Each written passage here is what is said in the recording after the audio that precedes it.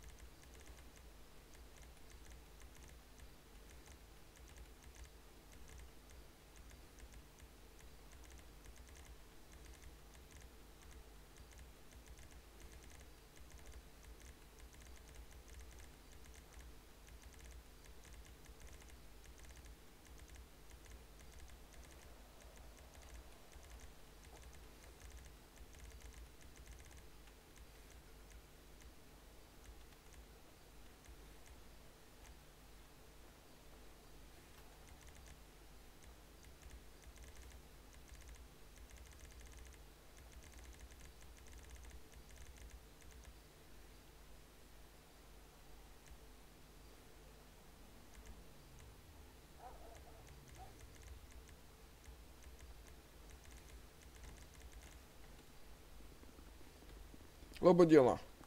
Nu, A tai jūs man leisit remontą padaryti? Kameras tvarkom. neleisim. Kas per neleisim? Pasakiau, kad neleisim. Ką tu neleisi? Ką eit? Turiu darbą atlikti.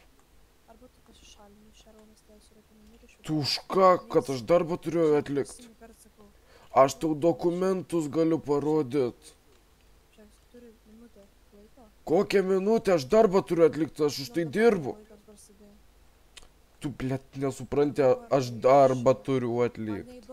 Kas tau neįdomu, aš... Ką kitur man užsakymas duotas?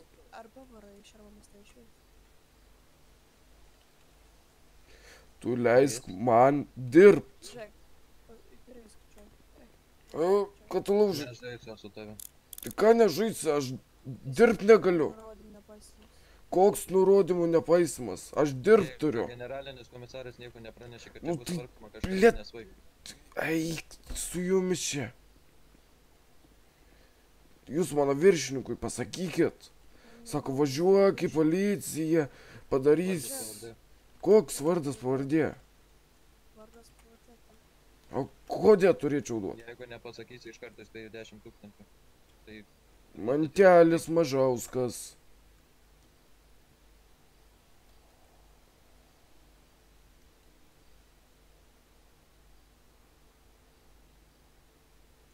Blemba, blemba, va čia tai atlik darbą savo. Nu pareigūnai, dėkui jums.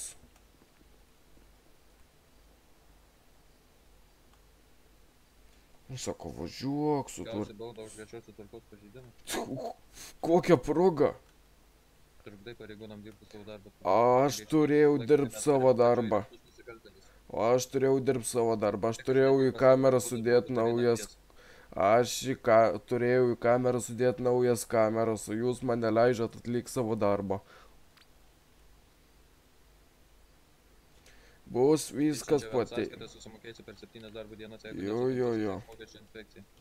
Tegu susisiek. Nu, jo, jo, labai aišku. Dar kartą pastebėsim, būti sulaikytas ir pasodintas. O čia tai pareigūnai leidžia atlikti savo darbą. Dėkui, durnelį.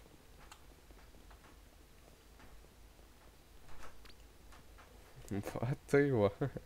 Ir pan. Distinktyvę.